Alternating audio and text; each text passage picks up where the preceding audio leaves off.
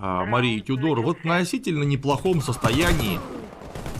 Более того, у нее был очень очень хороший лорд казначейства, который, о нем попозже поговорим, который смог справиться с большинством финансовых проблем.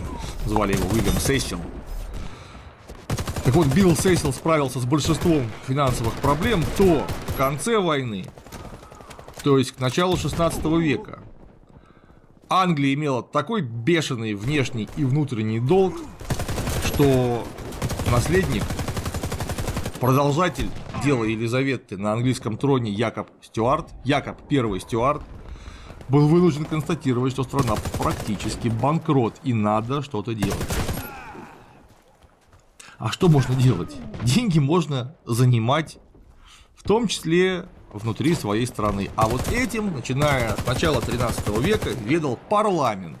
И король стал попадать во все большую и большую зависимость от парламента. Соответственно, его самодержавная власть стала уменьшаться, что, естественно, не могло не привести к прямому столкновению. Нарождающейся буржуазии, представленной в парламенте, которая боролась за свои объективные права, и отживающей феодальной монархии, которая со своей стороны боролась за свои права. Все это закончилось совсем нехорошо, потому что случилась английская революция, а королю Карлу I Стюарту отрубили голову. Так что мы могли бы смело назвать наш ролик сегодня как Война на море 1589 года привела к декаптации короля Карла Стюарта. Но так мы не назовем, потому что это, конечно, всего лишь частное следствие. Хотя и важное. Но за упокой души Карла Стюарта. Дюма про это хорошую книжку написал, кстати. Испания и Португалия, два главных насильника Пиренейского полуострова, получили огромные богатства в Америке. Что это были за богатства? Понятное дело, это в первую очередь драгоценные металлы. Серебро, в меньшей степени золото. Самое главное, конечно, драгметалл, который вывозили, было серебро. Кроме того, конечно, ценные породы дерева. Естественно, это шоколад, кофе, какао, которые стали вывозить из южноамериканского континента. Но это все было важно, очень важно. Но куда более важным средством обогащения стала работорговля. Потому что ведь южноамериканский континент был не просто континентом, а он был континентом-донором, который поставлял разные ценные ресурсы, которые нужно было добывать или выращивать. Как выяснилось, Местные индейцы очень плохие работники, они в неволе дохнут. Тут же подтянулась католическая церковь, которая обосновала, что у индейцев есть душа, и это люди. А вот по поводу африканских негров, такими сложными вопросами никто не задавался. То есть, возможно, у них тоже есть душа. Просто католическая церковь об этом не устраивала симпозиум, насколько я знаю.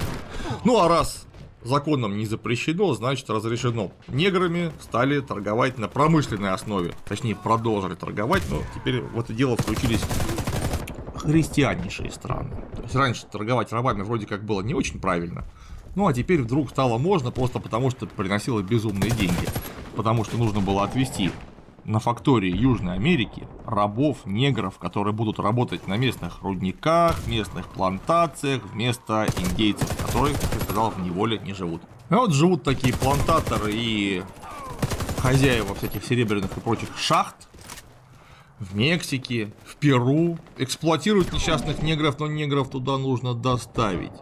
А доставить их можно единственным способом – на кораблях через Атлантику. И вот тут-то выяснилось, что богатство Испании очень сильно раздражает, в том числе английских джентльменов. Кстати говоря, их голландских друзей. Но, так как Англия находится в состоянии войны с Францией, причем давно, и Испания находится в состоянии войны с Францией, причем давно, государство не может заниматься прямым рейдерством на торговых коммуникациях. А вот частная инициатива очень даже может.